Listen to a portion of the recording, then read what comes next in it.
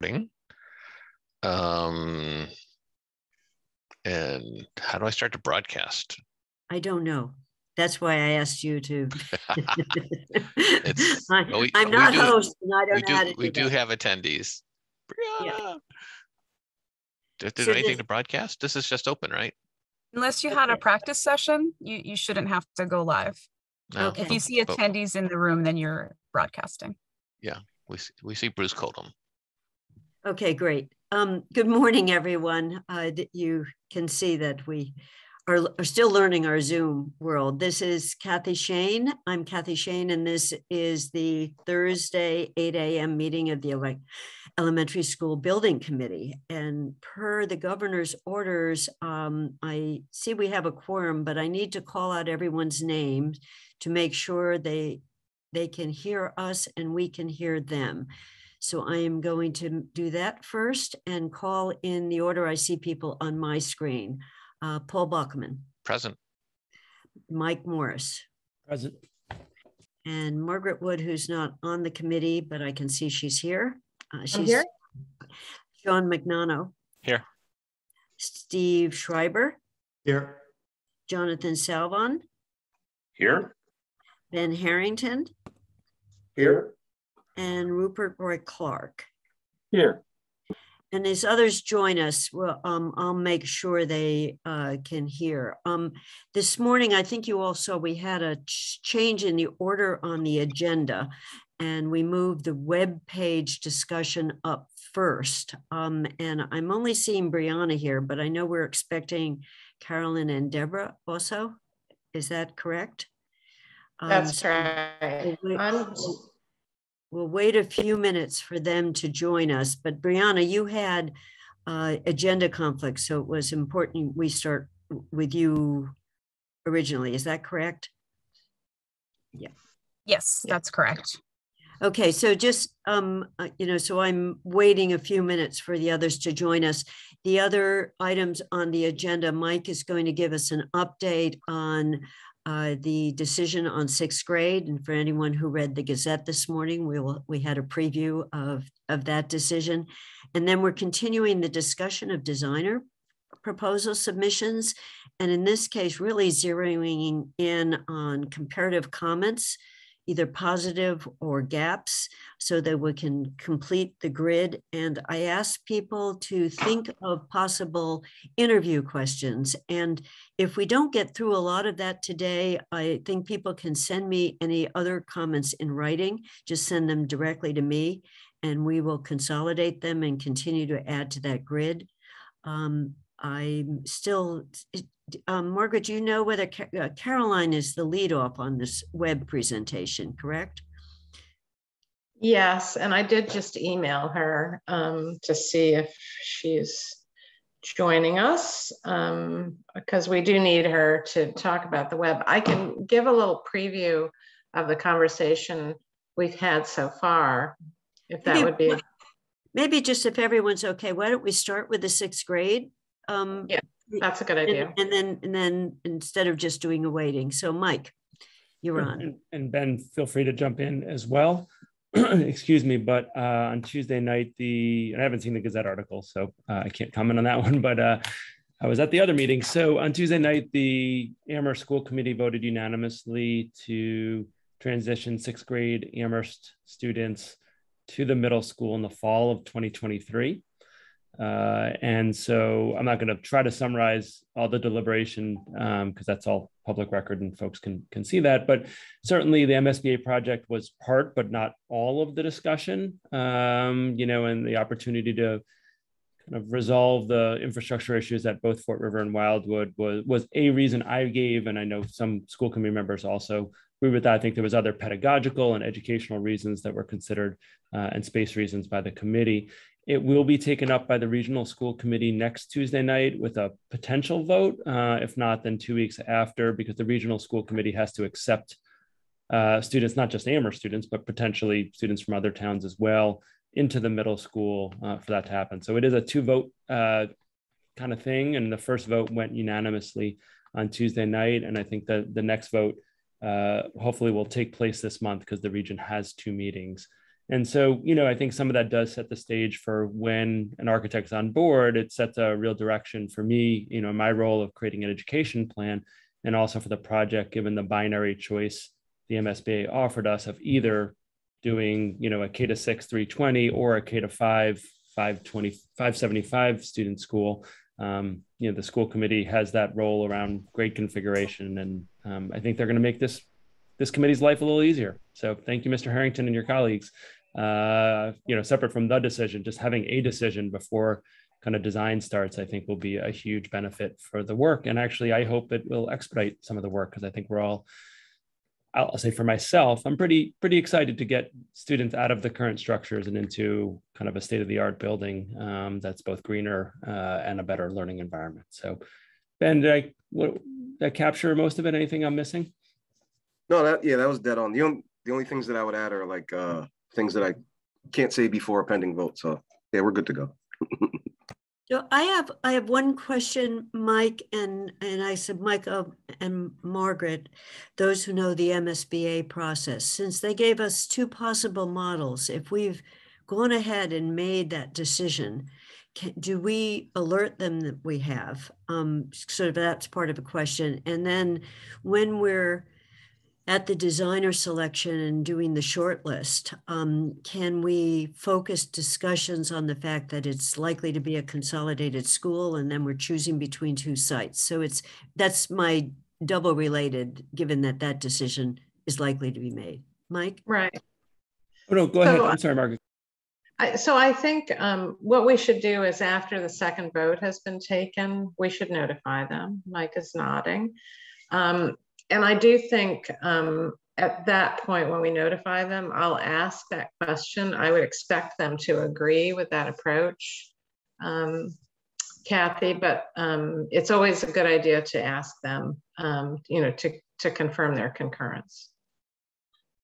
Yeah, I'd agree. And I think just regular com- communication with MSBA is just really, uh, they welcome that. Uh, they've never told me I'm communicating too much. I'll put it that way. Um, and so I fully agree with Margaret. I think waiting for the second vote um, likely makes sense, uh, especially as it's scheduled before the designer selection panel on November 2nd. Um, I, th- I, think there's plenty of time between those potential votes of the regional school committee and that meeting to inform them of that so that they're in the loop. Great. And I, I see that Phoebe has joined us and Allison has joined us. So I just want to make sure that you can hear and be heard. And I know Allison, you had emailed me that you're going to have to leave early. So um, Phoebe, are, are you okay on your end? I'm good, thank you. Okay, great. And Allison is there on the screen. And I think Debbie has joined us. Is that correct? Although she says her label says uh, Mike Morris. Yes. Yeah, so yeah. I was going to see if Debbie got in because she just messaged me. She was having trouble getting in. I did. I used the link and I think I probably used the link from your invitation, Mike. So that's probably why it shows me as you. She's an, she's an upgrade, so everyone should be happy about that. Um, no, no problem at all.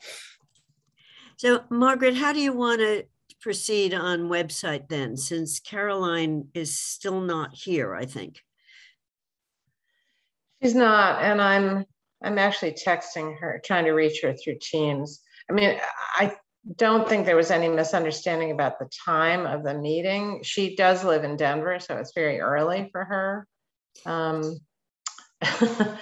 um, I mean, let, let's do this. Um, let me tell you a little bit about, we've had a, a couple of precursor conversations about this, and I can summarize where that is in the hopes that Caroline is joining us momentarily. Um, uh, so the, as I think everybody knows, part of our role as the OPM, we were specifically asked to provide um, a web page for the project. And so in getting that started, um, we looked, uh, Caroline uh, and I looked at the, the town's website as well as the um, uh, the district's website uh, because it seems as though it would be good to for them to, for it not to look like a totally other thing. And we have come down on the side of using the kind of branding approach that's on the um, district's website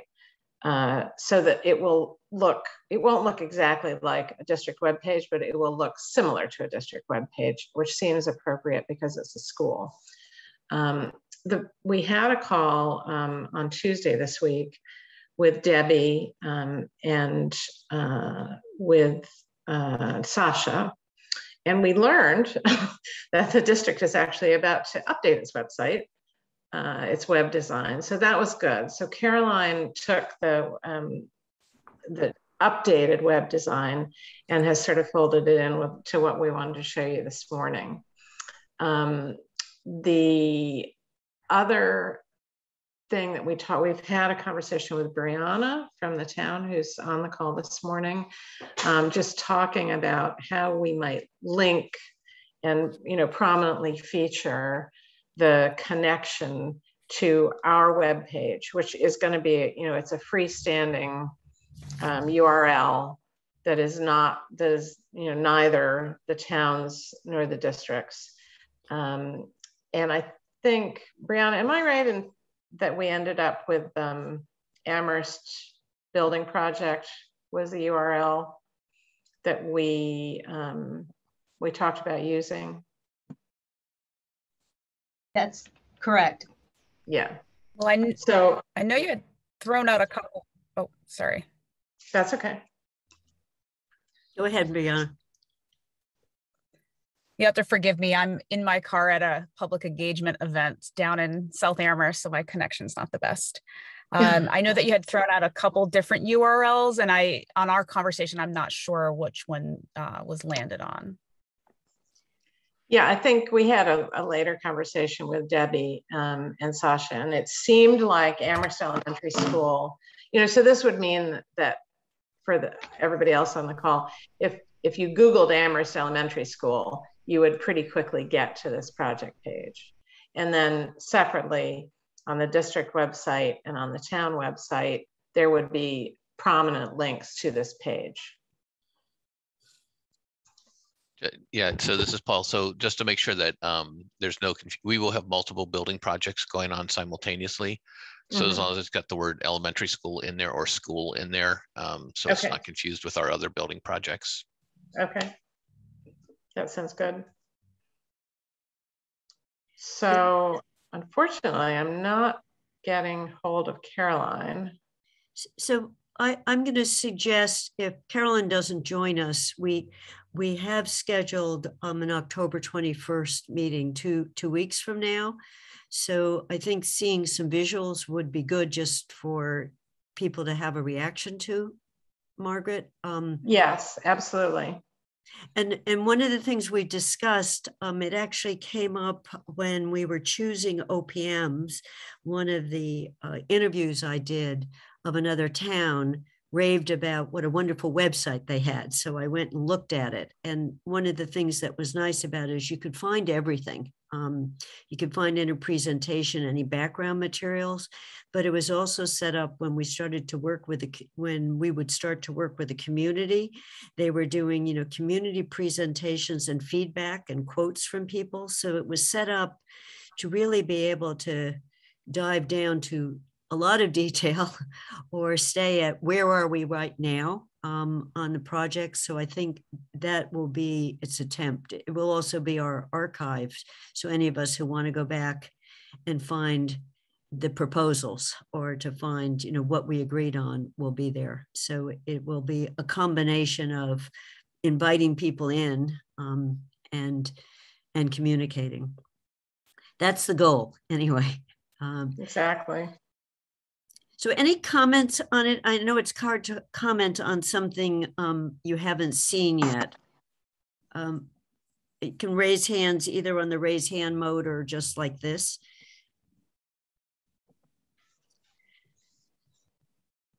Jonathan. I'm gonna just, I'm gonna just see if I can uh, find the link that she had shared with it and maybe I can pull it up. So keep, keep going with what you're doing and so jonathan I, I guess I would just really, I would tend to reiterate what, what you've just spoken about, That it, it needs to be clear and, and I think it needs to be comprehensive. um, so that folks can, you know, uh, we might be six months into something, but if someone in the public says, "Well, I remember listening into a, a listening session back in February," can I find that information? That that you're able to get back to that past information with relative ease, I think, is important. Yeah, I agree. And, you know, the town is now putting up the videos, the recordings of our meetings. They're not always easy to find, but I saw yesterday they're in a, in a cluster, you know, so you would also be able to, I'm hoping, Jonathan, to be able to click and say, I want to see that meeting or see that present. So both the physical, if there was a PowerPoint or some kind of chart, you could find it, but you could hear, also see the interaction. So at least have links, you know, make it one portal and then we could find things easily. So. So Margaret is looking at her screen, seeing if she can find this. Yeah, it, it looks like my link to comment on what she'd sent has expired. Okay. So I can't, I'm, I apologize, everybody, I'm stuck because I don't Okay, have updated link. So Both I'm gonna keep trying to reach her, but why don't we toggle to Okay, the both other Deb- topic? and they're both Debbie and Brianna have their hands up. So let's, um, I don't know who, I'll do Debbie first, then Brianna. I was just going to let you know that when we met, when Sasha and I met with Margaret the other day, we talked also about other social media. And we decided that for Facebook, it made the most sense to create a separate page for the building project because um, we don't want other school related items on Facebook to get lost in comments and, and questions about the building project. Plus, we want to be able to feature it prominently the way it deserves. So we will be planning to do a separate Facebook page that will have the same name as the website. Great. Brianna? Thank you, Counselor. I would just wanted to make the point, even if, if we're not going to look at the web product today, that um, our point of discussion from the town side is that we can integrate it easily in a number of ways from our website so that if people happen to the main town site, that they'll have easy access to find the, the school uh, building project page, even though it's a, a separate site, we'll integrate it in a number of ways. So um, if this discussion continues until um, another week, I'm happy to come back and talk about those or show those um, alongside the actual project website.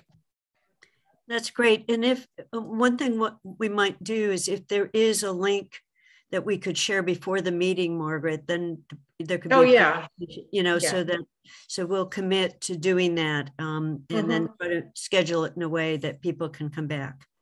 Okay, so thank, Actually, um, w- you know, one thing that might help because, you know, we've actually seen, but maybe some of you have not seen. Debbie, are you able to share um, what the new, the district's new website looks like? What, what Sasha shared with us the other day? I don't think I have that link. Sasha had the link, but let me look. I'm sorry, I, I'll have to. No, no, it's- it see shouldn't- what I have. Yeah, uh, you know, just to sort of let people know. Um, and I think you're rolling that out in October, right? The new web design. Do you have a date that it's going to get rolled out? The rollout is, it will, we will stop putting new content on by October 18th so that it can go live on October 22nd. Okay, so um, Kathy, I haven't had a chance to ask you this, but you know, I think what our goal would be to to not to roll out the Wix page before the 18th, but we could. Um, I just a, a question for you all to think about. well, I think our next meeting uh, uh, that everyone agreed on is October 21st. So I think it would be good for people to see the prototype before we roll it out. And Yes, I that will- agree. And that will still be before the designer, the first round of the designer panel. So. you know, Exactly. eh, So I think the timing with ARPS, what they're doing seems like it should be after that meeting. Um, Yeah. Okay, so, Okay. so- so everyone can just stay tuned and we will hopefully send some links. So I think we can just thank Brianna and Debbie for joining us and you can go on to the rest of your day and Yes. we'll switch gears and go to the designer um, proposals or applications, submissions that we received. Thank you very Thanks much. for having us. Thank you. Thanks, Tim.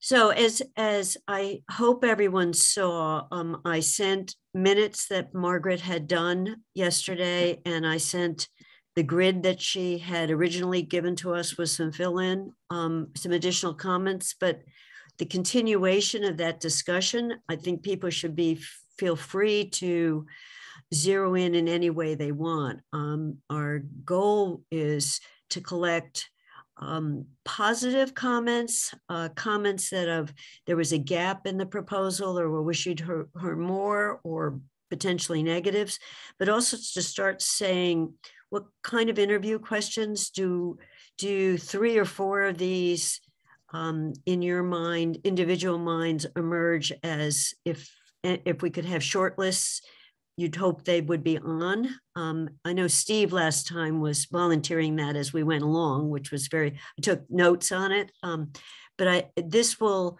all of this information will provide guidance and uh, more detailed comments to both Mike, Ben and I when we're on the MSBA panel. So we're not ranking again, we're just getting as much of a sense of the committee as possible.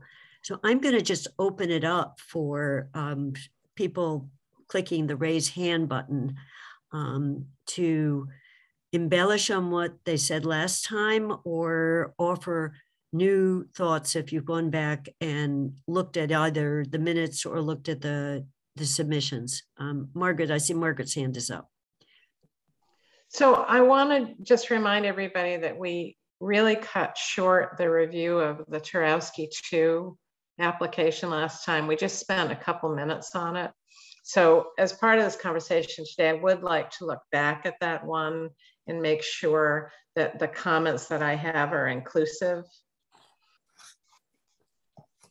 We don't need to do that first. We can start with whatever you'd like, Kathy, but I think we should we should spend a few minutes on that, a, a sort of equivalent amount of time on that application. Okay, so then I invite comments. Um, I think that's a good point. I invite comments on that on, on Turowski 2. Steve, I wasn't going to comment on Turowski 2. I was going to just make a holistic Okay. comment, but is it Would- fair game or not? Not fair game. I think that's fair game. And um, and and just the other uh, thing I would say is if if anyone has either written or other comments, they can send them to me, you know, without sharing them with everyone, and I will compile them as well. But Steve, go ahead. Yeah. So I, and I thought the conversation was, you know, incredibly useful. I mean, we, we have a committee with such diverse backgrounds on purpose, right? So we have a couple of architects, but when we have people that are, you, you know, have not dealt with architects, um, come from all parts of the community. So I always find these kinds of committees to be really eye-opening. But I I think, um, so speaking as a perspective as someone who is an architect, for me, the proof of the pudding is what was built, you, you know, what have you done with all of the information and all of the engagement that you've done? So the proof of the pudding is the building itself. And are you capable of doing beautiful, workable, sensible buildings on time, on budget that um, a community will be proud of? So all of the process before that is really important. End of the day, though, we're hiring somebody who's going to design us a significant building for Amherst that will last for, we hope, 100 years, right? So um, that's I look first at the that's where I go first is I look at what have you done for us? What have you done? You know, in other words, I don't without even knowing how you got there, I want to know what you've done. Something that's actually also important, and I don't see much information about this, are post-occupancy. Like, so there you have you've done a beautiful school somewhere, the post-occupancy evaluation of said school, did it actually achieve what you said it was going to achieve? You know, other than anecdotes, you know, there's a whole body of knowledge about that, but I don't know how we get more of that information. But uh, basically, a third-party post-occupancy evaluation of at least a sampling of, you know, of schools if there are schools. I, I think Margaret's going to respond to that. Well, Steve, it's a great question. And actually, the MSBA, about, I want to say about a year and a half, hired a consultant to devise an entire post occupancy evaluation program for them. And I haven't heard anything about it, but I, I totally agree with your point. And I will reach out to the MSBA today and find out. Um, they hired Perkins and Will to create the post occupancy evaluation and I think their plan was to then use it as the basis of evaluating a certain number of schools. So let me let me find out where that stands. But you know, I do think um, that is also a question that could be framed for the interviews. For instance, you could ask a question like, "Can you um, reflect on your completed projects and what was successful and what could have been better and you know what you learned from that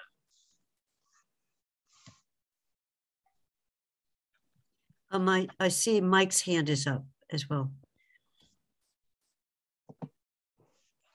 Sorry about that. Um, you know, for Margaret, where we uh, end up, I know having gone through the process before, talking to references and folks, because we have this completed project list for every firm.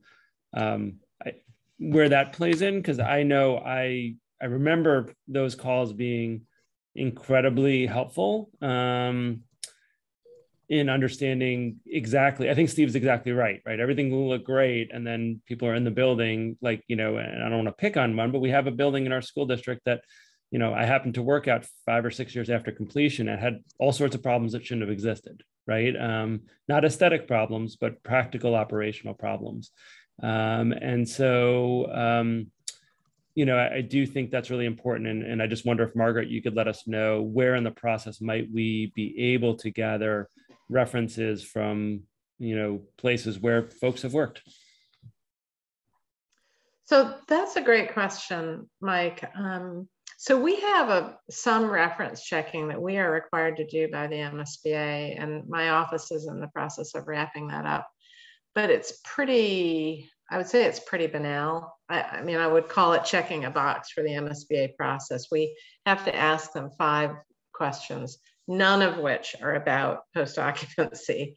Um, you know, they have to do with, you know, on time, on budget, good documents, communication. Um, and then people are allowed to make additional comments. Um, so I don't think that's going to be a good source for this particular issue. What I do think is can be very useful is once we have a kind of short list, so this is November 2nd, right? Um, when we have a short list of those who will be interviewed, um, I can, you know, quickly give you a list of um, projects and references, and we can think about whether some of the folks on the committee might actually want to have some of those conversations with people in more detail and bring that those calls back to this group in preparation for the um, the interview process. Or or we can or we can do it sooner. I mean, we don't have to wait for that, but what becomes a little bit hard here is to know whether you should be calling all eight of these firms or calling some subset of them. So Rupert, then Jonathan. Uh, uh, just a question. I'm wondering if in uh, any building projects that were uh, LEED certified at a certain level, do they have to do uh, post occupancy M&Vs and, and is that valuable information that we could get? So I'm not, they're not required now by the MSBA to do that, but I think that's where they're headed with this consulting work that Perkins and Will is doing, that they're gonna put in place a formal process. So what I'm curious is, you know, how far they've gotten on that with the pilot. It's possible that some of the schools by some of these designers have been through that. I just don't know. Jonathan? So I, I, I think doing those, you know, kind of follow up questions to, you know, kind of the reference questions are very important. I think I would probably wait for until we can narrow it down to a, the interview list. Um, and I was just hoping Margaret, you'd also just refresh us on the process once we get past the current stage to the finalists um, yeah. and you know the interview and, and just for our own benefit, but also for the public that might be listening. Yeah. A refresher on the, the process. Okay, so I'll, I'll try and just do a brief recap. So um, the the date they were headed for heading for right now is November 2nd. So on that date, there's a, a public Zoom meeting um, that the, your three, the three folks that Kathy mentioned. So it's Kathy, Ben, and Paul will be Mike. attending. Mike. Mike. Kathy, Kathy, Ben, and Mike. So the each community is allowed to have three representatives at this meeting, and they meet with what's called the designer selection panel. Um, the, the state for other projects has a designer selection board. It's modeled on that. So, you know, you think of it as a big group of people sitting around a conference table, which is what it used to be, but you don't have to drive to Boston anymore. Um, I can't remember who the chair is right now, but you know, basically the, the chair will do at that November 2nd meeting what we have done here, which is what Kathy, I think, has done in sort of in leading this conversation. They'll pick up each proposal. They'll ask for comments, kind of go around the table, so to speak, and ask for comments. And then um, at the end of it, um, after they've everybody's commented, they'll ask for you know discussion, and then they'll you know give everybody a virtual piece of paper and ask them to rank their first, second, and third. Then they add up all the numbers, and whoever gets the most points, I, I they do it in this kind of weird way, which is I think numbers uh, three, a score of three is the best, two and one so then whoever's got the most number of points globally of the whole, everybody who's participating, is about 12 people in total. Um, they become the one, two, and three. Sometimes if the vote is really close, they'll do a fourth. So that's on the second. And then two weeks later, which is the 17th, um, the interviews will occur. They're a little bit less than an hour each. Again, they're public same group of people around the virtual conference table, same voting. They do the interviews, they have a discussion, everybody votes. And then we will basically be given top ranked one, two, three, and are able to negotiate with, are directed to negotiate with number one. So, Margaret, between the second and then the interviews is when we would do background, we'd be individually calling. Yes, uh, we could make additional calls. Yeah. And if we had, um, you know, Rupert's uh, point, if we had both, how's the school been working for, you know, from the perspective of teachers and staff, but also do you have, if we're calling a school that says it was net zero, has it met those goals? Yep. you know and the maintenance staff how's it working in terms of the operating systems? Are they complicated? Was it were they taught how to run the new systems? You know we can have that set of questions. Would just amherst would just our committee be doing those phone calls? Yes. Okay it's the community's responsibility to do what you know or the or in some cases delegated to the opm to do the reference checks. The MSBA does not do that.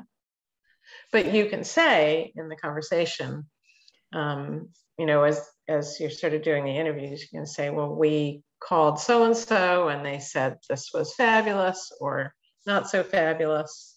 Um, and it can, you know, most of the focus of the final selection is the, um, you know, the interview presentation but I think this reference piece can be important if people have time to do that. It's time consuming, obviously. So, um, but definitely valuable.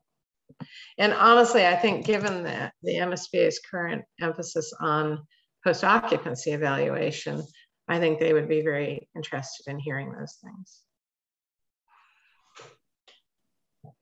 Any other comments on this? You know, I had also wondered, I just don't know what my time constraints are. I, for if we get to the point we're saying our top three or four as a group, um, I was thinking that I would drive to a few of the schools that caught my eye, examples where they were completed schools, to just literally not see them just as a picture on the screen. And um, I just have to figure out whether that's physically possible because I, I don't think I can get inside them anymore. I know Amherst is not letting people in, so it would be more, you know, a sense of the space. Um, Mhm. so any other comments on this um, topic? Steve, that was a great question, uh, topic, and also a good interview question, but a very good background reference check question. So Turowski, can we, do we want to start with Turowski too? If people have their notes on that to just complete our grid on them?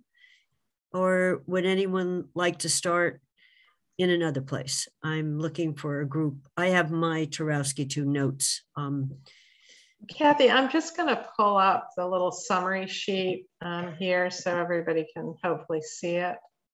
Can you all see this? You know, Yes. just to remind us where we were. So um, I folded up all the other columns here, but you know, just to recap, um, since it's been a while. So this is a, you know, a mid-sized firm. They have actually most of the folks, one thing that's distinctive about them is most of the people in their office are licensed architects. So you can see they only have one staff person who's not.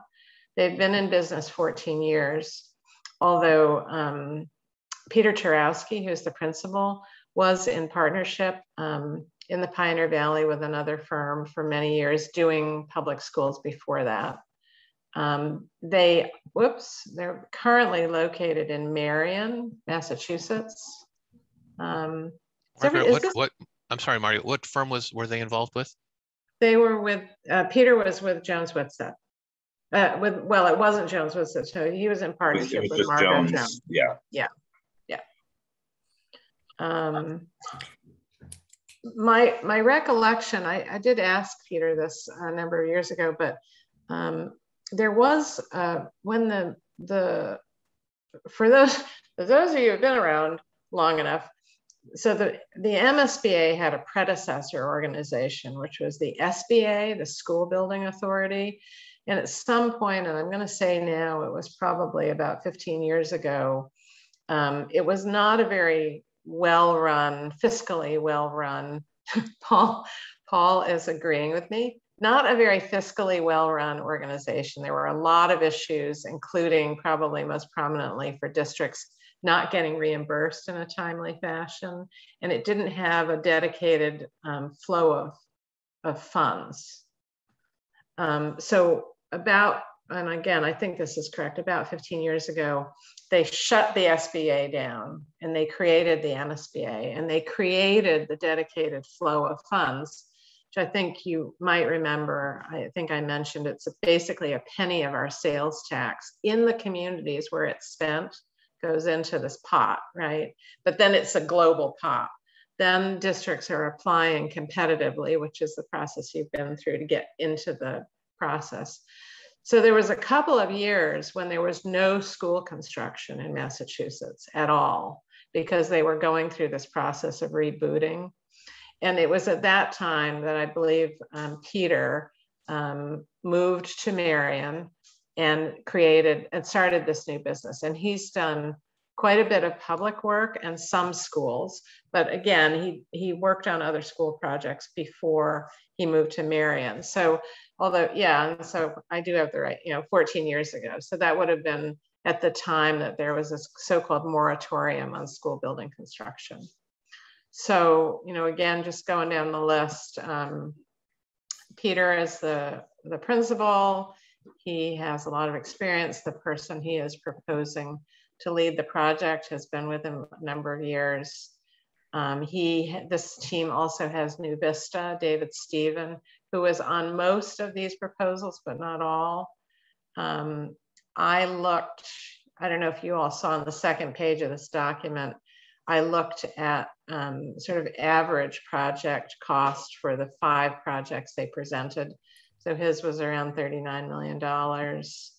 Um, uh, they have one completed MSBA project, a couple of others that are in the works. Um, and, uh, you know, I think actually it's this one is the one that's done this Hannigan School, well, also known as the Irwin Jacobs Elementary School in New Bedford.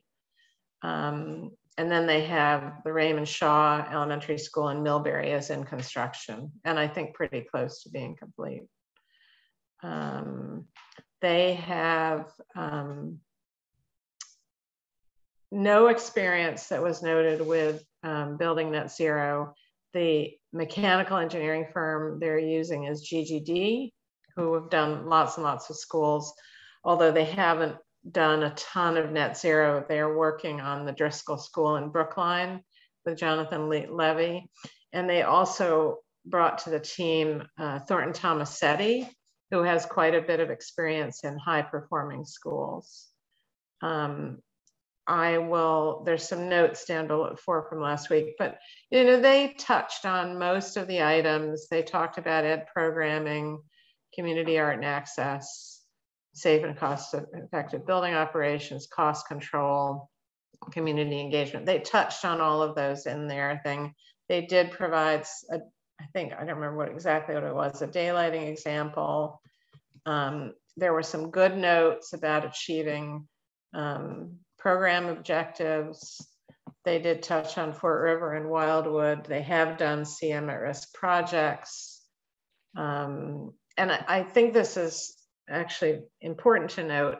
They did, um, their Irwin, the school in New Bedford did receive a Caudill citation, which is a is a particular, it's actually particularly for schools mostly elementary schools, and, it, and they were the only one of the firms. Um, and you can look up this citation program if you're interested. They're the only one of the firms that applied that had re actually received a design award um, for this from this educational program.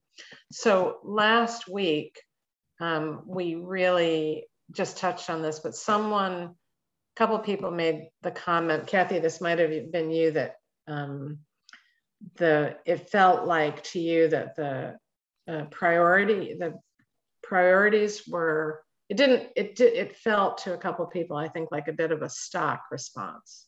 So that was where we had left it last week. Um, if anybody has any other comments about the application i would e add them in here just to complete the matrix. I'm looking around the screen for any other comments Mike? You have to unmute. All right, I thought I did. Uh, my apologies. I thought they did a fair amount of analysis on the site work, um, the two different sites, and I thought that was notable. Um, you know, I have my own thoughts on site stuff and agree with most of it, but I, I appreciate that they really did look and it's not a fait accompli. It needs to be one side or the other. And, and I like sort of the clear way of opportunities and challenges they presented it. Um, I think from Sean's perspective, they did, you know, a bit on cost control uh, as a prominent feature. So I thought that was uh, a positive use. And, and I also like that they did the community use and access um, that they, um, that's something that I know we've talked a lot about and, and I thought it was there. Um, I, I, agree with the, in terms of negatives. Um, I agree with what's already on the chart. So I won't repeat what Margaret already has written. Um, just wanted to plus one what Margaret has for negatives. Steve?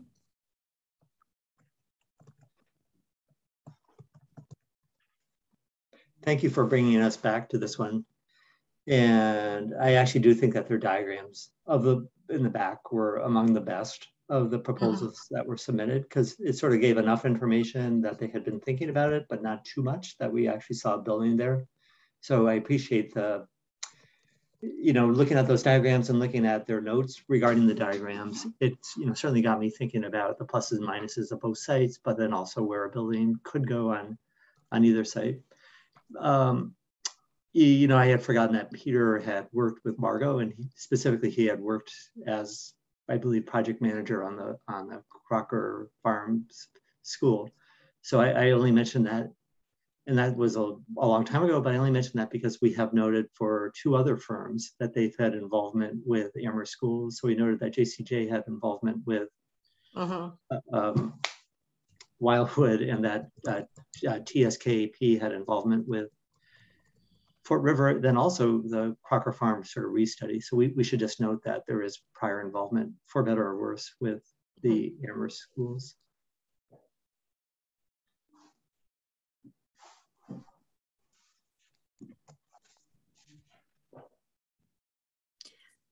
Um, I'm looking to see, you know, I, I have some additional comments on it. Um, Mike mentioned uh, the community use, but they give us, they gave nice examples, both of the Shaw School and the Mill, Millbury School and the Jacobs School of different ways that the community, that they structured the school in a way that the community could use them, but also that they could do multiple uses within the school, that it could be a cafeteria, but also a music room, um, giving it an extra place. And they did in, I think it was the earlier life. So that's where um, I think they, yes, they wo- worked on the Williamstown School as well. So out in our region that they, they've focused on some. And Tisbury, I know has been a tough project for them because it was a t- town meeting. It didn't get all the way through. They're back to design. So they're in one that they've come back again. Um, so it's an experience that um, I would think they probably have something they could talk about learning from. Um, so that that was it. Uh, you know, and a few others. I Margaret, when you said you thought I said thin, it was they did do the diagrams of the two schools and land, but they didn't talk a lot about um, you know topography, water level issues, slope where a few of the others. This is more in reading one compared to others. Yeah. Um, So they didn't do that and they didn't talk, they did talk about daylighting as a word, but what they said is, we always do daylighting. We do it from all, we do it for all projects. So I was looking for an example, you know, take a look at this school or that school. So I actually have a fair amount of notes on this one, which means I found it interesting because some of the others I went through more quickly, you know, I, I'm looking Yep. for. Yeah, so I'll, I'll stop there. Yeah.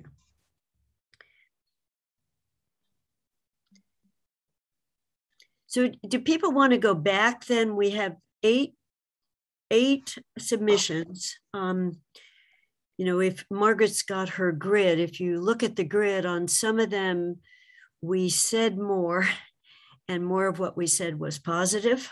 Um, do we, do, I'm, I'm comfortable doing any way people might want, going around the group on if you were to pick, and I'm going to say pick four, so we could potentially have four, but if you pick, pick four or three um, that you would hope would be shortlisted, um, talk about the reasons why, um, if anyone is willing to jump in that way, um, or what, whatever, to come back to put more information in this grid or to put more qualitative and sort of a sense of the, the team, a sense of the proposal, Steve's emphasis on, you know, the design team, who we're getting as architects.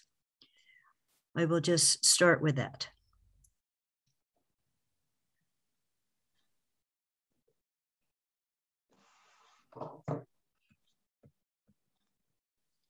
Any, anyone can raise their hand.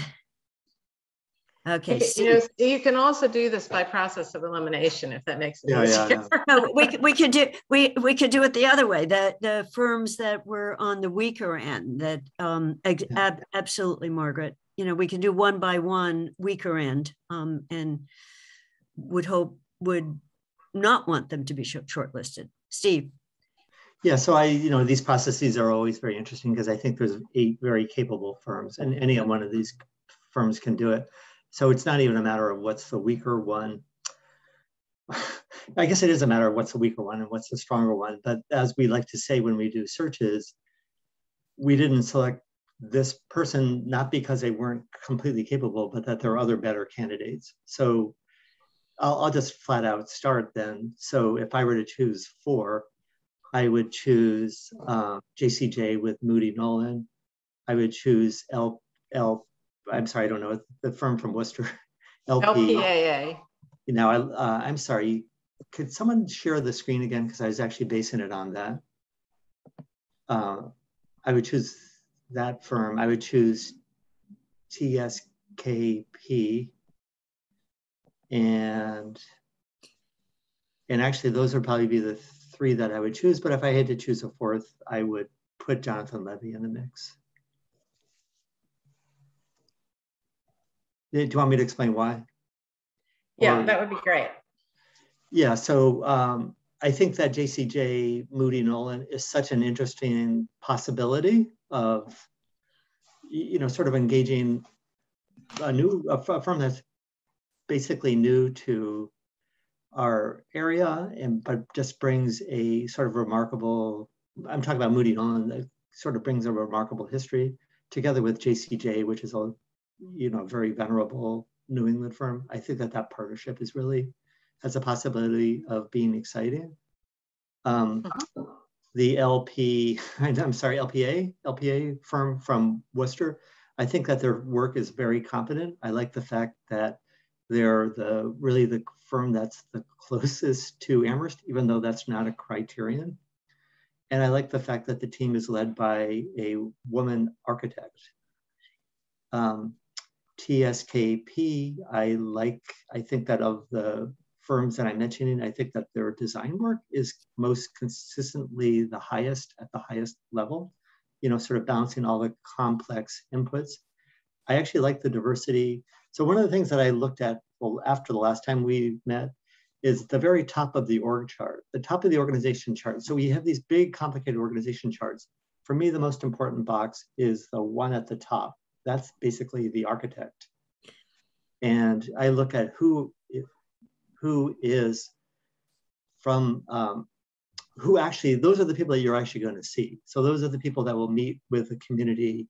Everybody else are ancillary so they'll be supporting the architects but they're not the ones that engage with the community.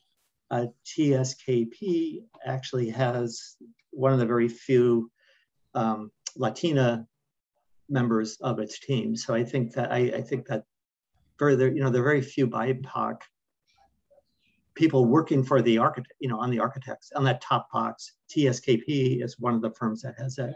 They do very good design work. And then I'm sorry, I lost somebody just walked into my house and is asking a question. We, we and I've lost track of did, what was the firm that I oh Jonathan Levi. So Jonathan Levi should be in the mix because they're a high design firm. They have a really good track record of you know excellent design I think that there are probably other issues on the way they get to that design, but I just want to put them in there for discussion. That's it.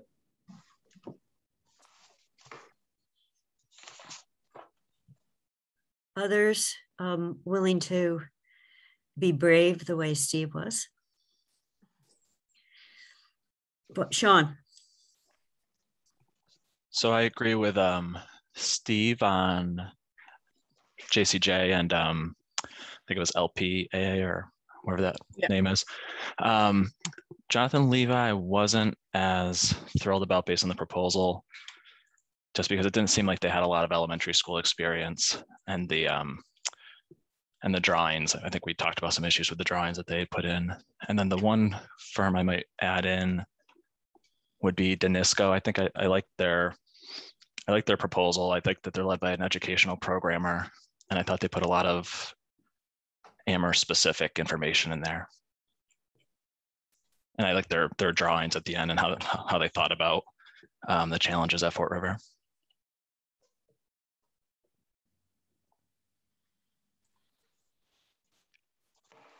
Since we have experience with um, two of the firms, are there people who've had experience with them who want to weigh in on whether they should be in, in the mix or not? So you're talking about um, JCJ and TSKP? Correct. And we should probably throw in uh, Turkhouse, the firm we just talked about. So really three Each. firms. Yeah. I can say for JCJ that they were, I thought they did a really good job with the public engagement piece when they did the Wildwood project. And they were just in the, the meetings that we had, the we had many school building committee meetings. They were very responsive to input and then tweaking their designs based on input that they received from different people. So I thought that was a, one of the major pluses for them. Jonathan? I will comment on on uh, Paul's comment, and then I'll I'll give you my three. Uh, although a lot of the comments kind of repeated themselves after a certain point. Um, I know JCJ from kind of an experience as a parent during the first round. I I thought they ran the the um, the public engagement things from parents' perspective well, um, and uh, obviously I know uh, TSKP uh, through the Fort River Committee um, I found them responsive. Uh, I, I liked their design creativity. Um, I, you know, they they dealt with well with, you know, kind of the public interaction in, during that experience. Um, and, you know, having known Turowski's uh, as you know as an architect here in the Valley, um, I, I, think their work tends to be very uh, the elementary work tends to be very kind of kid focused to me, which I've always found rather positive. Um, they, you know, they may not be the high design of, of some of the other firms, but um, I, you know, for elementary schools, I like the kid focused portion of it. And then if you'll bear with me, since I'm, I was looking at a different chart for my top three, um, I would choose JCJ, uh, Moody Nolan. Uh, where did they go? LPA or um, my French is horrible. Limo Pagano Um, then, yeah, sorry. French and Italian. Italian I can do, but um, and TSKP. Those would be my top three. Margaret, is are you able to share the entire spreadsheet that shows all the firms? I can. It will be get kind of tiny. You know, Margaret, maybe if you pull up the one that you did for MSBA that shows the consultants because the columns are less wide. Sure. Me I mean, I, I think you can see all eight more easily there, but I'm I I might be wrong. Yeah, and I apologize because I've only got my one little screen. By the way, I'm in England. it's also foggy here. but it's two so, o'clock there or something. No, no, it's uh, it's one o'clock. Pretty close. It's pub time. Does anyone else want to jump in um, in terms of thoughts? Phoebe, Rupert, Ben. Okay, I I will. Um, I in terms of uh, how the firms that have been here have worked with the communities. I did not uh, participate in the JCJ public sessions, but the TSKP. I went to both several of the committee meetings and then the presentations they did in the middle school. And I thought they both, um, they did very clear presentations and I liked the way they interacted with quite pointed questions that came from the audience. Um, they, they went back and forth and they referenced some of um, the different studies. So people might have had different, but they they and they were very clear. So a couple architects that were in the audience uh, who know net zero, who have been sponsors of the net zero thing, came away commenting on a, that they thought the team knew what they were talking about, which was uh, for me as the layperson was good. My top three would have LPA right at the top, um, partly because of the clarity of the way they wrote um, and the way they organized it. I felt that that would be a clarity in the way they would present to the community.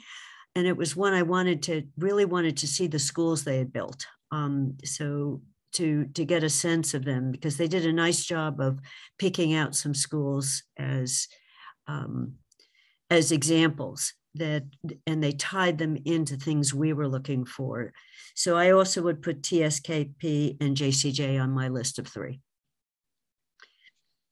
and jcj for all the reasons steve said um, the, them bringing in moody, moody nolan my big question on that team and it's something that was captured. I'm worried there are too many people on the team.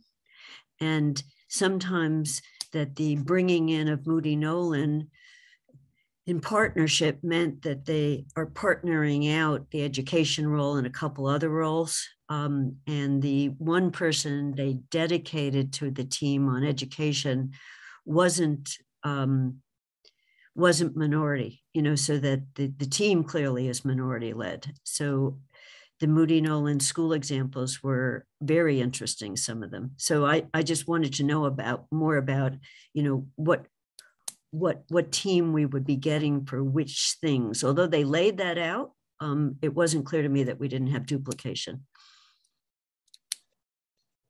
Mike. Yeah, so um, I think just one that's not getting talked about that that I'd like to put in the mix is DiNisco. Um, you know, they've got incredible amounts of MSBA experience, which I value. They've got uh, in Western Mass looking at school consolidations, which sort of all signs indicate that they've got experience with the carbon neutral. Um, you know, I think you know design lead is is you know uh, in terms of diversity. Um, and, and just you know i'll say that you know this is why we have a diverse team so i know that some folks really value high levels of design um, and some of the aesthetic aspects and i'm not here to disagree with that i would say that's lower on the list of my priorities and and i'm really going to be careful with my comments here but having been principal at crocker farm and coming to that school a couple years after the renovation was done and seeing the beauty of the school and the functional issues that it had um, I'm less swayed. I'm not saying I'm right. I just want to be explicit of my biases. I'm less swayed by, by quote unquote high design than I am about kind of cost control, green school, functional pieces, having daylighting, all those pieces. Um, I value at a probably bizarrely higher level than than other people on this team. So so I know there was some kind of critiques of DiNisco and some of the other ones, uh, other firms Jonathan Levi, like I said the last time, like I liked it. It looked neat. It, it really makes me anxious looking at those designs and the drawings and looking at some of the costs of their prior projects. Um, and again, I want to be like, I'm just being broken record. I'm not right. This is just my perspective. And having gone into Crocker Farm and seen leaking skylights or daylights, whatever, from the from the ceiling five years after they were done, um, you know, great to have them. Great to have the natural light on a practical operational level, they're just problematic, right? And I'm not against skylights. I'm not, I'm not making that broad statement, but uh, I think living the experience I've lived as a principal and, and in this current role, uh, you know, if I, I could easily live with a, you know, slightly less expensive, incredibly functional, wonderful green school uh, over spending more funds on high levels of design, um, you know, and again, this is one person on the committee. And so I thought DiNisco checked all the boxes that way for me. And, you know, for me, you know, I'd advocate at least for them to be considered in the mix. Steve, Jonathan, no offense, hopefully no offense to our architects in the team because they bring a lot of value. you know, Mike, I, you know, DiNisco was up there if I had done four for me. I, I liked it. And the, the one the one uh, gap is they talked quite a bit about Fort River, but they didn't talk about Wildwood. So, you know, I think they're aware that we have a choice of where we're doing, and the challenges. They did such a nice job on Fort River on challenges that I assumed that they would would have done a good job on the other, and it was a space issue. Um, other comments? It, it you know we've um, or thoughts on top three, top four. We Tecton has not come out, neither has D, DRA Turowski. Two got some positive comments. So I'm just, I'm taking lots of notes. Um, I don't see any. Um, Steve. Yeah, so, um, you know, thank you Thank you, Mike, for those comments, which I think are incredibly important. Um, and I, Jonathan, I want to weigh in here also. High design does not mean more expensive. In fact, sometimes high design means less expensive. So high design means making the most with the resources that you have and being able to balance multiple kinds of challenges, including cost, community input, you, you know, et cetera, et cetera. So there, there absolutely there's some high design that is more expensive and there's some low design that's more expensive also. So for the, the issue I, and you know, a lot of people are talking about DiNisco, so I will also, they're not on my list because in some ways I see, um, you know, the work to me is, uh, seems like a camel almost, like maybe they're trying to be, you know, a little bit of this, a little bit of that. And so I didn't see sort of a rigor in the design. But the other conceptual problem I have is that we're hiring an architecture firm, right? So, you know, basically the this is what we're doing is we're hiring an architecture firm with a bunch of consultants. The principal of this particular firm who has the name DiNisco, but I'm not sure that that's the DiNisco whom the firm is named after. I, I, I think it's a second generation firm. Yeah, so Ken, Ken DiNisco is the original founder. Ken DiNisco is a founder in, in the 1970s. And this is, yeah. Yeah, this is his daughter who is now That's his the daughter, okay. leader of the firm. But, but um, she's not an architect. So she's the president of the firm, but not an architect. So to me, that is, that sends off an alarm. And the reason is like, we wouldn't hire a law firm where the head of the firm is not a lawyer. We just wouldn't do that. And so it's it's legal to in Massachusetts that's legal to have a corporation with the president. You call yourself an architecture firm. The president can be a non-architect as long as I think it's a majority of the partners are or are architects.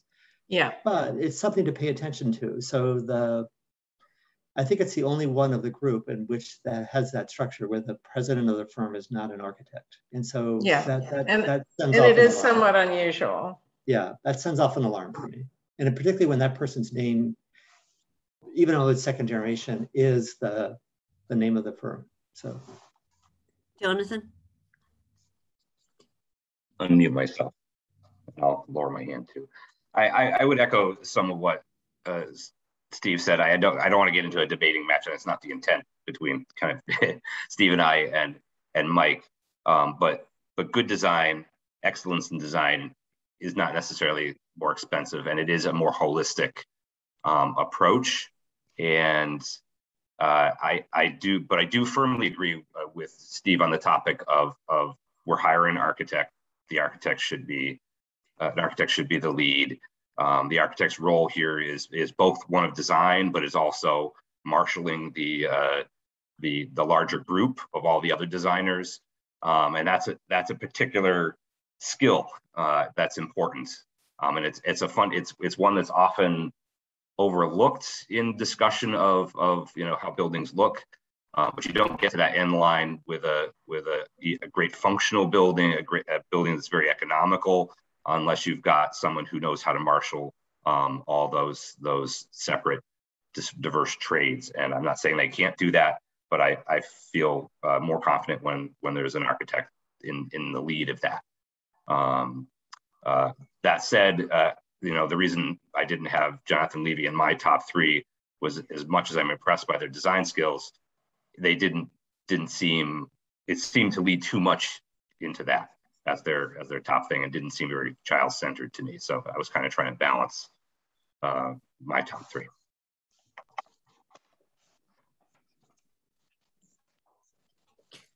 So um, if if I'm uh, Sean's hand is up, okay, I'm looking for hands up. Yeah. Yeah, again, just going back to the comparison between DiNisco and Levi um, or Levy, um, I mean, the, the projects that Levy highlighted, I don't think they highlighted one elementary school. So again, thinking about, you know, the, the lawyer example, we wouldn't hire a, you know, a criminal defense lawyer for some other type of loss. um, so that was one of my biggest issues is that they know this is an elementary school. We talked about being child-centered and they didn't highlight a single elementary school unless I missed it. Whereas DiNisco, I think all five of their projects that they highlighted were elementary schools, and they just have a pretty extensive list of elementary school work. Um, so I think that's what made the difference between those two for me. So Mike's hand is up. And and so I appreciate uh, Steve and Jonathan's perspective on that. It's no critique of high design. It just you know, I know the town's finances are limited, and you know I get anxious when I look at things that um, at least from the lay perspective, and I'm certainly don't have the background to, to make this statement confidently, look like, ooh, that's not good. And I think the data on Jonathan Levi, when I look at prior projects, looks outside perhaps where we're mostly headed. Um, so I, am happy to sit down, you know, on uh, DiNisco. I just thought, you know, they check a lot of boxes. I do value experience of the conversation we had prior to this one, having multiple projects completed, having multiple, you know, consolidation projects completed successfully in our area in Western Massachusetts. That stuff matters to me. I tend to think past performance predicts future performance. So that's but I, am willing to let that go. I think the other three that that I had in my top four were similar to what's been described earlier. You know, LPA, um, JCJ, and TSKP. So you know, if I'm the only DiNisco fan, I'm happy to be the only DiNisco fan. And and uh, but I just I, I, just want to at least enter it into the conversation because I I do think. Again, I, I value people who have had successful MSBA projects that are similar to this one, and I think their track record, you know, they have a long track record. They've got a local recent track record in the city of Springfield, uh, which is out here, and multiple consolidation projects that I've heard good things about. So uh, I'm happy to let it go, but I just wanted to at least explain why I was thinking about it. And certainly wasn't a critique to the field of architecture. My apologies if it was perceived that way. So um, a couple things um, just to add to the mix here. So um, Sean, to your comment, the field school, um, the field elementary school by Jonathan Levi's office is an elementary school. Um, I would encourage anybody who sort of, um, you know, wants to kind of look at it. It it is a sophisticated building relative to the design comments, so it doesn't read and it isn't photographed with, you know, a little kid vibe. Um, but you know to some degree i would say that's marketing. You know you could send the photographer out with a different set of um, requirements and you might get a different result. Um, the other thing i'll say about jonathan levi's firm is um, at least one of their schools and, and arguably two of their schools i'm thinking in particular of the dearborn school in boston um, which is also in their portfolio was really designed to be a very kind of um, uh, what's the right way to put this? It was designed to be a showstopper, and it is a showstopper. Um, it's a it's a middle high school, um, and I do agree in general that you know, except for the Field Elementary School in their portfolio, um, they have not done as many elementary schools as as most of the others. Um, the and when you do a showstopper design, it is expensive. Um, the MSBA will share some cost data with this group um, prior to the interviews. And, you know, I think you're going to see some of that reflected in the relative costs um, of projects. Um, and that's also, you know, worth taking a look at um, when it comes out there, because there are, there are differences between this group within this, this set of designers.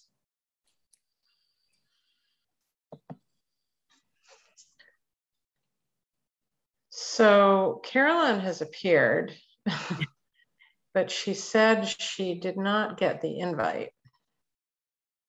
Oh, um, it went, it went, it went out to the email. Um, sorry, it, Angela did send it out. I saw that she had invited all three, but we well, can. I saw, I saw an email saying she'd sent it. I just didn't see. yeah, invite. we don't. I, yeah, we don't see I, the individual. So yeah. Yeah. I um, sent her mine this morning. Um, so let me give her a moment. Let's give her a moment just to see if she can join while we wrap up comments on this. So does anybody else want to speak up about um, their thoughts about the, the choices? Um, I um, I think my top three were covered. I actually had LPA, JCJ, and then DiNisco as well. Um, I did not include what's different uh, for me was I don't know that I would put, um,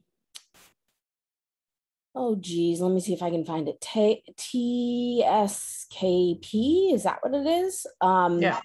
At the top, I had some real, and I and I um, I understand that we have sort of uh, in Amherst have firsthand knowledge of them and that people were, uh, sounds like people were pretty impressed. Um, I had some issues with their proposal. Um, and so I, I, uh, and I think we talked about it last time. Um, and I talked about it last time. Um, and I think that, um, you know, if they're going to be uh, in our top three, I think there's some, especially having experience with us previously with Amherst before. I think there's some real questions in there about, um, you know, what we saw in their proposal versus what they saw when they were involved with us before. So I just wanted to put it out there because it sounds like they're, you know, they may be in one of our top few. Um, and I think that that's a, I felt like some of their, some of the things in their proposal kind of missed the mark about who Amherst is.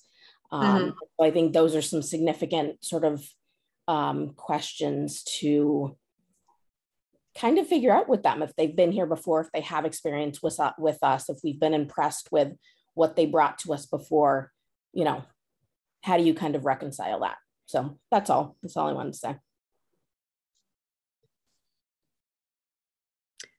Ben's hand is up. Hi, Ben. Yeah, just just to kind of tag on to that, they like so overall, you know, with with their familiarity with Amherst and, and you know how many times they've interacted with us. I, I think that bumped them down on my list. I, I, still had them in the top three, but I had them at number three personally, and, it was it was absolutely because of the. So I, am I'm kind of looking at this from the political standpoint too. We have to sell this project to the the public, and I think the more you exhibit, I, I don't I don't want to say a lack of willingness to learn about who we are as a community, but I I, I think the way they depicted this as like this, you know, bucolic, rural little town. I, I, that that didn't sit well with me, but the, the ease of of working with them, I you know I, I was moderately impressed by. So not moderately, I was impressed by that. The fact that they were responsive to the you know our our uh, our input, and, and I give them extra points because they were here for the the passing of the net zero bylaw, and I, I think they took a great deal of interest in that. But I just think they kind of missed the mark as to who we are, kind of. Paul. Yeah, so I just, I, I mean, sort of build on, I found Phoebe's comments really interesting. I think she's accurate on that. Um, I think the things that we should be thinking about are, are there any that we do not want? I mean, what we can, what the value we bring to the MSBA is like, these are the firms we do not want. Like we, these are not acceptable. And if there's a handful of firms that we say we really love, then we would um, bring those, you know, bring those forward. Um, I think, you know, when we talk about our experiences with the firms that have done business with the town before, you know, public outreach and the connection with the public is a, is a key component, but also the work product is really important as well. So I think we want to look at that uh, comprehensively um, in terms of, of how that all worked out. And I wasn't here for most of them, but um, so I think the, the people who work directly with them are the most would be most advantageous to hear from.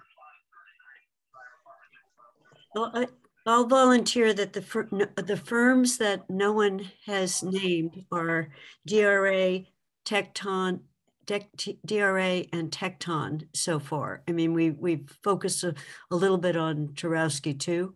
So Mike, Mike's hand is up. So I actually have to run to a meeting, so I'll, I'll say this and then I have to depart. But, you know, for me, I think I said the four, you know, for me were DiNisco, JCJ, uh, Lamoureux Pagano, um, and TSKP. Um, I struggle. I appreciate Phoebe's comments. I, I spoke about it last time, so I'm not going to repeat myself. It's a real concern. It's a real concern. It continues to be a concern. It'd be perhaps less of a concern if they hadn't already worked here. Um, I might be more less bothered because I'd say, oh, maybe that that because that, that is the reputation of Amherst. You go far away, people might believe that, um, but it's a hard one. So you know, for me, the other four were below the level I'd feel, you know, just for me personally. So DRA, Jonathan Levi, um, Tecton, and Turowski 2, you know, in terms of kind of the rule outs for me, again, just as one individual. And again, I struggle in the same way Phoebe and Ben talked about it. Um, and and I do have concerns that they've, you know, MSB experience is more limited with TKSB as well. And, you know, I know I'm I, I'm very aware of, I try to be uh-huh. aware of my biases anyways. And I, I do have a bias towards people who have done this before with, you know, the MSBA and, and, you know, and I like the people, right? So like I've met them, I worked with them. I agree with everyone, you know, Jonathan, what Kathy said. And, you know, I, I am struggling how much to weigh that for both the firms we know versus the, the documents we have. And, and so I'm trying to be, the way I'm trying to think about it is I'm not including my past experience with those firms. I'm trying to look at their proposals because in some ways it may not be, it's useful information. It's also perhaps not fair for me because I was, I was heavily involved with one and pretty involved with another. Um, and, and that's, you know, I might think that about the other firms, but I don't have that experience. So I'm trying to weigh it just on the proposal, not necessarily on past experience. So, you know, I've got four that for me, you know, are in that mix and then four that are not in that mix. But I just want to appreciate Phoebe for coming back to that point because I think in this particular community, um, rightfully uh, and thankfully, um, people want to be described accurately. And there's a number of people in our community who don't feel like they're part of the public process. Um, and I think for good reason. And, you know, I think language matters. And if folks would see that as a public document and feel like, well, they're not speaking to my Amherst, you know, the Amherst I work for, the Amherst Elementary Schools is the majority of students identify as kids of color right? A significant percentage of our students live in um, dense housing. And so, you know, we talked, we don't need to rehash this. I get the other perspective. It's just a, a line, but I feel like when you're describing the potential client or, you know, that you're working with, you know, it's not a line that should be just taken casually. It's, it's really describing who we are as a town. So anyway, those are the four I have. I can probably hang out for Can about you- two more can you minutes. and I repeat what the four are? meeting. Can you report what the, what the four are? What, what were the Sorry, four? yeah, so DiNisco, and I'm just reading on uh, the order that they are on the chart, not in order of um, how I'd, I'd weigh them. DiNisco, JCJ with Moon and Nolan, Lamoureux Pagano, and TSKP. Okay. Yeah. Thank you. And I'm sorry, I'll have to leave in two minutes. My apologies.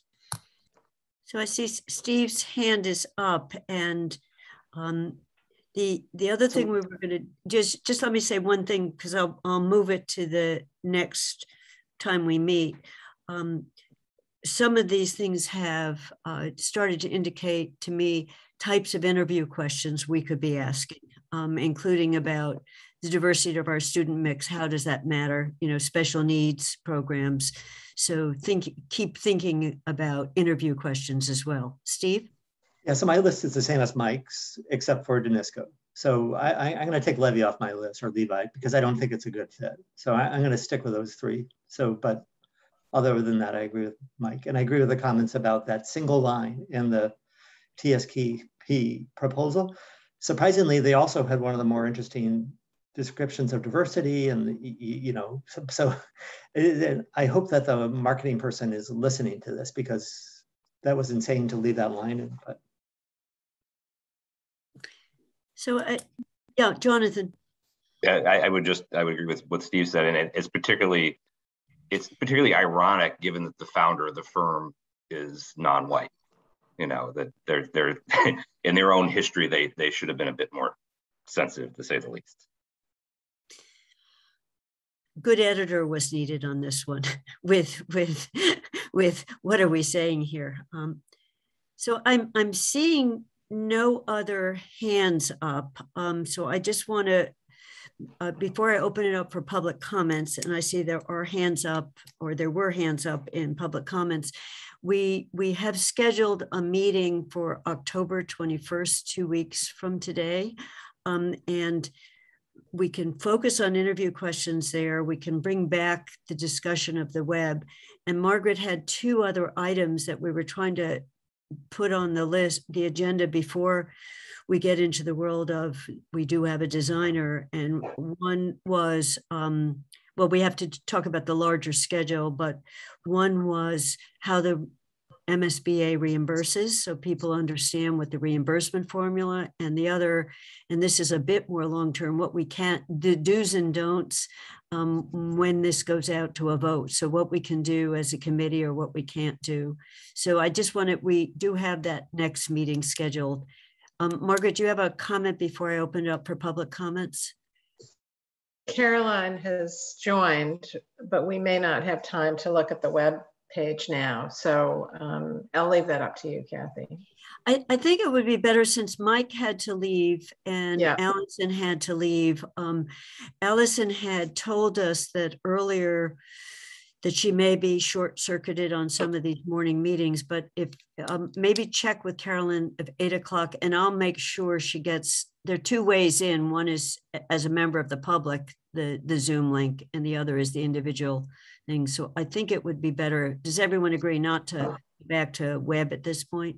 Okay. Yeah. Okay. Okay, so I want to open it up to public comments and we have one public and his hand is up. So Paul, I think you're hosting. You will have to do, I can't bring him in. I'm not co-host. Oh, I am. No, I am co-host. I can, I can bring him in. How do, did you pr- promote him already? Mm-hmm. Okay. Bruce, you are, you have joined us. Um, Um, uh, Bruce Coldham, um, I'm listening to all of this. Uh, for what it's worth, my three are the same as Michael's and Steve's and Jonathan's, but uh, uh, that's not what I have to say. Uh, two short things. Firstly, um, my experience with JCJ uh, in their first, uh, their Wildwood round was uh, very positive as well as, for, as far as their preparedness to engage in public comment because I was all of the public comment related to daylighting and I was very aggressive uh, uh, and committed to it, including making daylighting models, uh, offering people uh, views through them using uh, metrics to measure and so forth. And the design team, and indeed the whole committee in the process, was very um, uh, uh, dignified that effort quite uh, admirably, I thought, given that I arrived somewhat late. Um, and and uh, had every indication that they would uh, continue to engage if that project had gone forward. So I was very impressed with that. They, as a design team, were um, quite positively prepared to engage in someone like me who was coming along essentially from the outside. So I, I um, imagine that, the, and, and um, Doug um, Roberts was, Doug Roberts, Douglas Roberts, I think. Yes, that's right. Uh, he is still involved, and he was the fellow who I uh, was mostly connected with on that process. So I was, I, I, I uh, endorse uh, a lot of what's been said in that regard. Secondly, um, the TSPK um, process, I was only uh, involved in that in one of the public engagements, and Jonathan, you can help me here. But I was particularly impressed with the way into that meeting they brought in this um, this kind of volunteer squad of facilitators.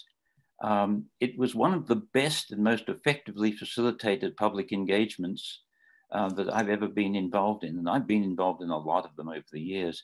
So whoever put together or thought of bringing that uh, squad of uh, facilitators, um, they, they, seem to be uh, available and, and, and, and so forth. I think they're probably Connecticut based, but it was a very uh, useful um, resource that that firm brought to that process. And I thought it would be worth uh, um, stating that and, and, and, no matter who is involved, perhaps uh, uh, recognizing that that resource may exist. And if it was able to be replicated in the way it was at the Fort River engagement, it could be a very valuable um, thing to be uh, using.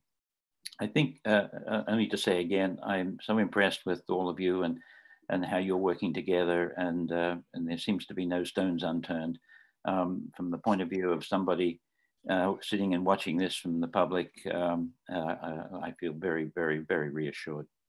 That's it from me. Thank you very much. Thank you, Bruce. So I, since we have no other members of the public, there are no other public comments right now. Um, the next meeting is October 21st. If you have any additional thoughts, please send them in. And any initial thoughts, Steve, you actually, I took notes last time. You said that would be a good question to ask them. Um, I, I will go back to my notes on that and the tape is rolling so I can actually hear hear hear what you said. Um, but similarly, um, some other issues have come up. Margaret suggested one on daylighting. So if we come up with five or six, I thought we had for the OPM selection process for those who were on that subcommittee. I thought we had excellent questions that in the responses, we got to see teams thinking um, and and and either addressing it directly or bringing in other examples. So the interview questions I thought helped a lot sift through if you have three or four front runners, which one starts to emerge. So please do, if you think about that. And Phoebe, you bringing in, you know, sensitivity to who we are as Amherst. Do you know who our children are? Do you know what the mix is that will be in the school? Um, it, we can probably phrase that in a way that brings that out as well. So I think I'm seeing no hands up. Any last minute comments from the committee? I think we can adjourn and we are adjourning at 9.32. So we were extremely efficient. Thank you, everyone. And I will see you again at eight in the morning in a couple weeks. Steve was